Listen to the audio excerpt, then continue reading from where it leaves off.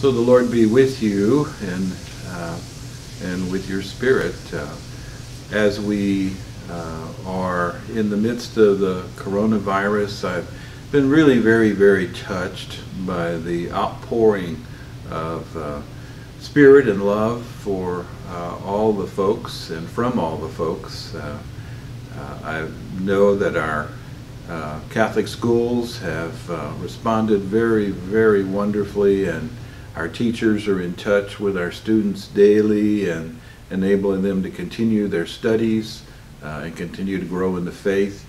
Uh, they've also enabled parishes to connect to uh, the different ministry that the schools are involved in, which has been a, a, a real joy.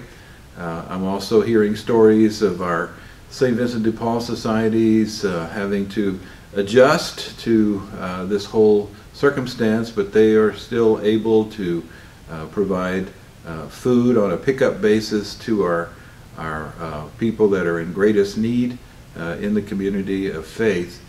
And then I've also been touched by all of our priests and deacons and sisters and uh, lay people who continue to serve in ministry and to continue to be witnesses to Jesus Christ at this uh, very difficult time.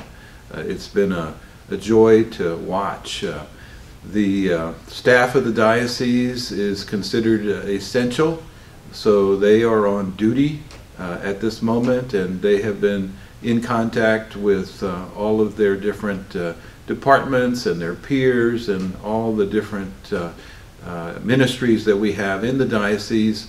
And then we as a church have now really moved into the virtual realm. And so Mass is still offered uh, on weekdays, uh, streaming live from our cathedral in Biloxi at 8 a.m.